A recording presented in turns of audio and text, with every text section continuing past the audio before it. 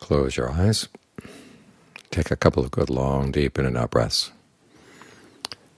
Notice where you feel the breathing. Let your attention settle there. And then notice if long breathing feels good. If it doesn't, you can change. Give the mind a good place to settle down right now.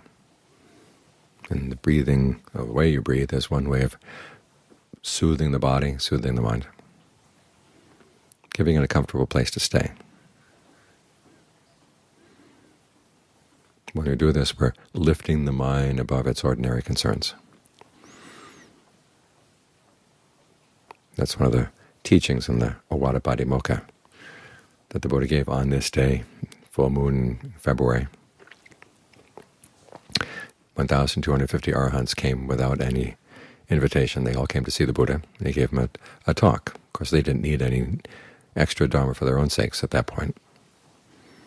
But he was going to send them out to teach. He wanted to make sure that they knew the entire teaching. So he gave a long sermon that day. We don't have a record of the whole sermon. We just have the verse at the end, which talks about the main points. And the final point was being devoted to the heightened mind. In other words, the mind that's above its ordinary concerns, above the concerns of the world.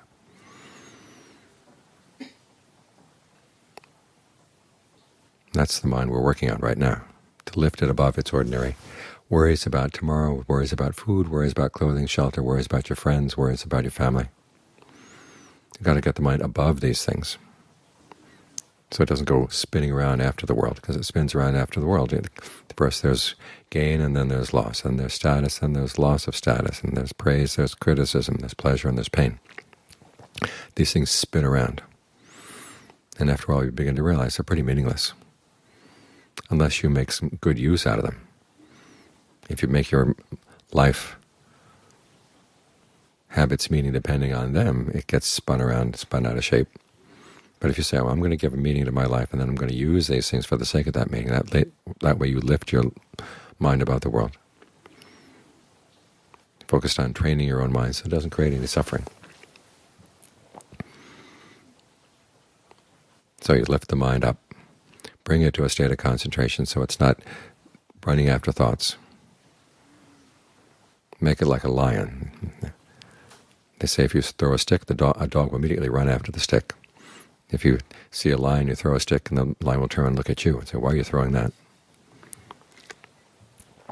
So make your mind like that. The mind throws sticks around, but you don't have to run after them.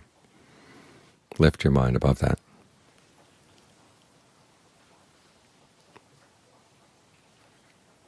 And that way you give meaning to life.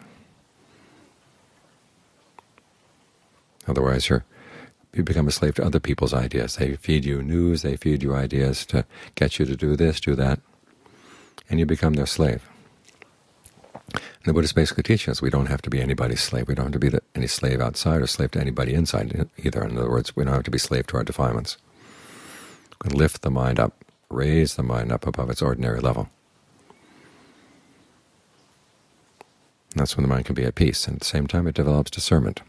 As the Buddha said, it's like standing up in a tower. You look down in the world below, and you see people running around. And you realize, okay, you're separate from that now. You don't have to run around the way they do. If there's something that needs to be done, you do it because you have this heightened point of view. You don't do it because somebody else wants you. You do it because you see oh, it's actually good, something good